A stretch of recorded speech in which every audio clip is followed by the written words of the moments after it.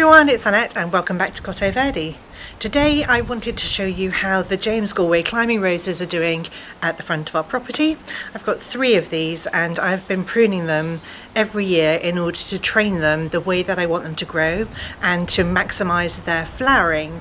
And I just wanted to show you how they're looking this year because I trained them quite a lot last year and I think I've had some success. So let me show you how they're doing. So if you've been with me for the past year, you'll know that I've been training these roses to grow more horizontally so that we get all of these upward shoots. Um, because uh, if you train your rose horizontally, for each little node, it will shoot a shoot upwards and on the end of that you'll get your flowers. So let me show you close up.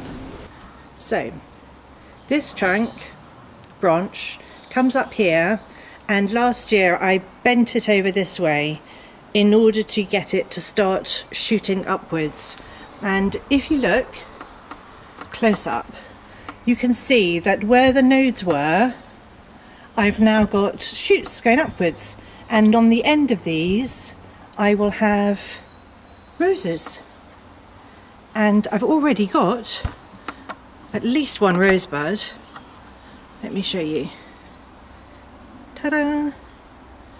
And this is coming directly off, hang on, so this is shooting upwards and coming directly off this horizontal branch down here. It's quite tricky to show you. So I'll show you one that's not working quite so well um, so that you can see what happens. So because I wanted more growth at the top, I've let some branches just grow upwards. So this branch that goes up here, because it's very vertical, nothing is coming off the sides of it.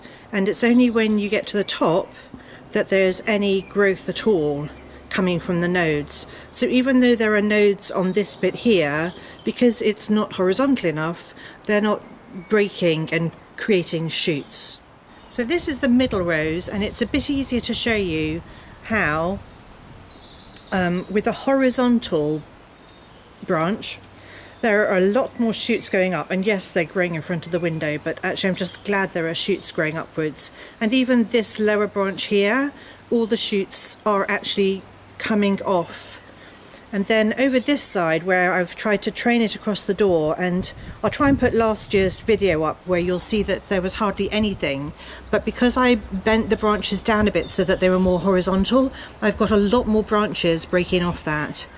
And it's a little bit bare in the middle here but what I've done is I've pruned this these two branches here quite short and they've got tiny little buds breaking on them and those buds I will bend them so that they're more horizontal and that will create a branch that's more horizontal with shoots coming off it there.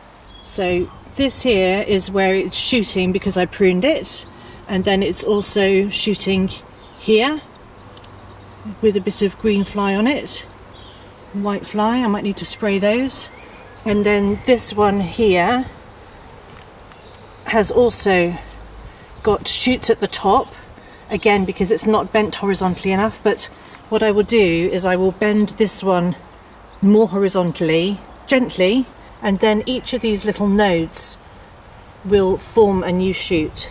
I've also got look that might be my first rose this year. So this particular rose, um, this is the one closest to the entrance of our driveway further through our front door, but it probably gets the most sun.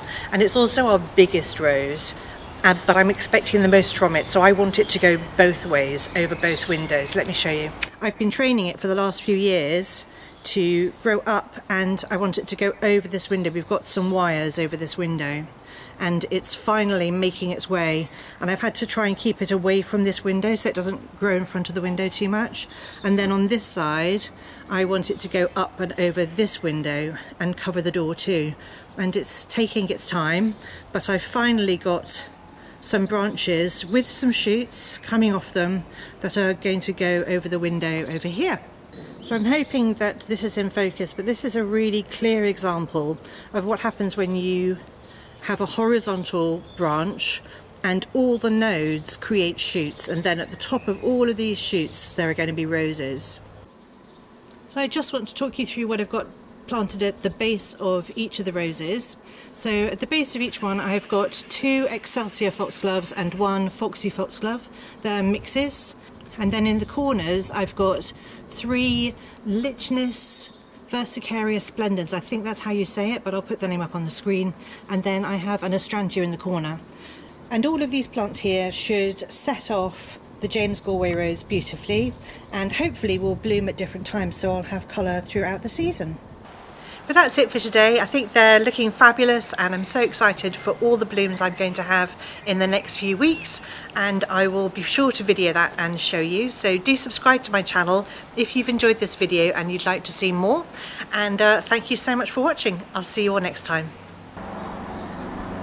Every time I want to film there's a plane. Tiny little noisy planes.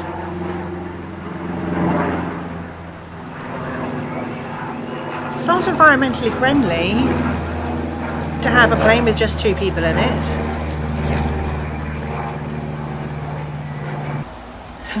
That's not going to work, is it?